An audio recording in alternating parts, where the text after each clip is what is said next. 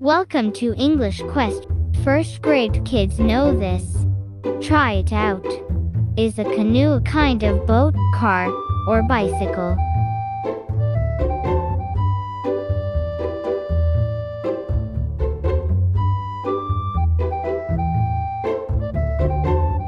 A canoe is a type of boat.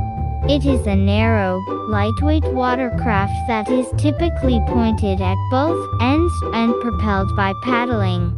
Canoes are commonly used for recreational activities such as paddling on lakes and rivers, fishing, or exploring nature.